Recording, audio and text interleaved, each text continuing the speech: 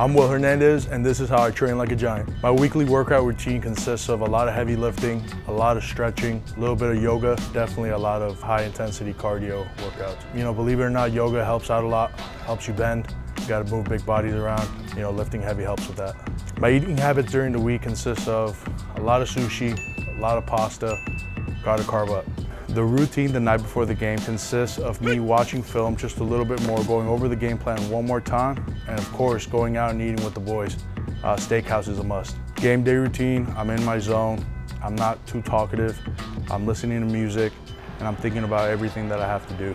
I'm Will Hernandez, and that's how I train like a giant.